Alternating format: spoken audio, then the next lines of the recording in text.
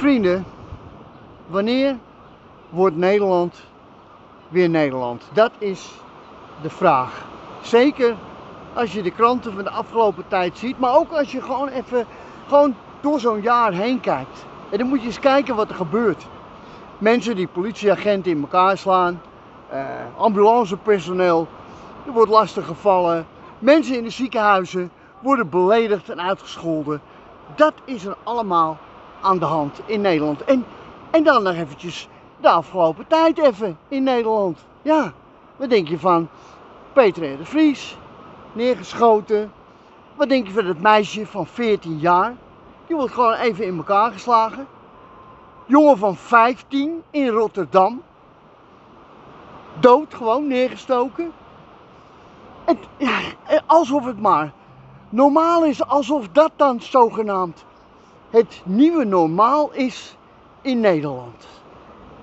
En ik stoor me eraan. Ik denk alleen maar, wat is er aan de hand met ons land? Wat is er aan de hand met Nederland dat dat allemaal maar gebeurt? En dan heb ik het nog.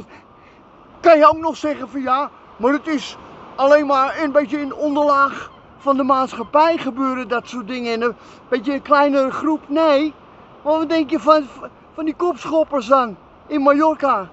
Die komen gewoon uit het gooi. Ja, ja, ja. En dat gebeurt ook allemaal maar zo. Nederland is Nederland niet meer. Ergens hebben we gewoon een hele verkeerde afslag genomen. En waarschijnlijk is dat ooit gebeurd in de jaren 70. Dat we met elkaar afspraken van, ah ja, weet je, wel leuk je en jij zeggen tegen elkaar, en, tegen de ouders en op school. En hebben geen gezag, alles moet kunnen en la la la. En dat krijgen we dus niet meer gerepareerd. En dat Nederland, dat hangt alleen maar aan elkaar van, van hufterigheid en onfatsoen. En doe maar raak. En dan krijg je allemaal dit soort excessen en rare dingen in een land. En dan wordt het een hele vervelende gemeenschap. En dat is wat we nu hebben in Nederland. En daarom zou ik willen zeggen tegen de ouders in Nederland. Ja, jullie. De ouders. Jullie, jullie zijn de mensen die de toekomst gaan bepalen voor Nederland. De leraren. Op al die scholen. Jullie bepalen de toekomst van Nederland. Jullie moeten regels zetten.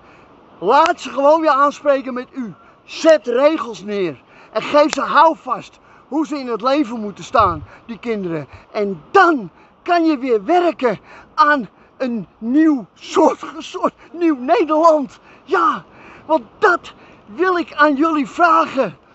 Maak van Nederland weer Nederland.